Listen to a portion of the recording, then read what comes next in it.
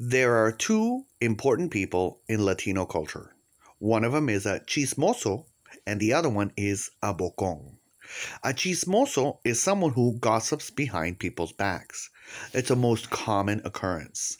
A bocón is someone who takes the chismes and goes back to the person that they were gossiping about and tells them, this is the shit they're talking about you. I happen to be a bocón.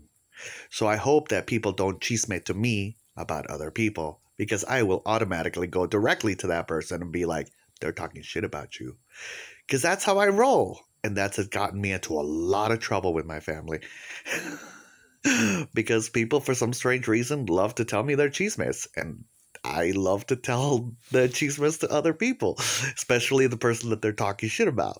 So, what do you think about that? Do you think that I should be listening to chismes? I don't think so. I don't anymore. Do you agree? Do you disagree? Let me know.